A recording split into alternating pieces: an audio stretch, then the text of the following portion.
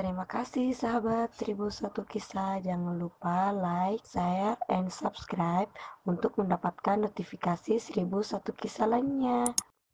Terima kasih untuk supportnya. Semoga channel ini dapat berkembang dan sahabat-sahabat semua juga diberi umur yang panjang juga rezeki yang berlimpah.